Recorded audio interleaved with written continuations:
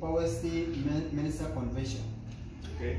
This was a gift from uh, my church, Noni ko konunet nekikochin kaniset nenyin. okay? and uh, specifically from an elder from our church. Nesire nekobo yani bo yon yani nekokoet nekokonu ne kabisa. I requested that uh, I can teach you folks from uh, the Westminster Shorter Catechism, So komwa kole mache konet akobo Westminster Convention. And uh, the elder he purchased this. So this is a gift from uh, our church, my our elder, to you. So kowaljinanyin agenge en e- e- e- en boisiekab kanisenyin kowaljin akobo kokwet.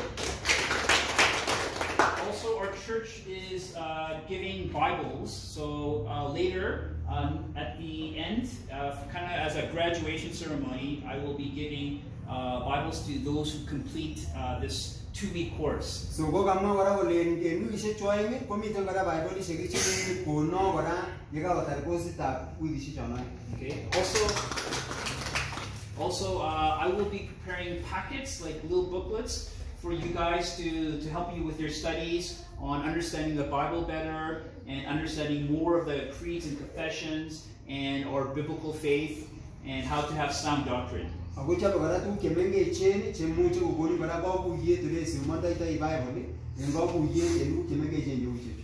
So for the first couple days, we're going to go over uh, our confession, and then after that, we're going to go through the booklet that I prepared for you, and uh, we will go through probably another confession of faith. Uh, it's called the Heidelberg Catechism.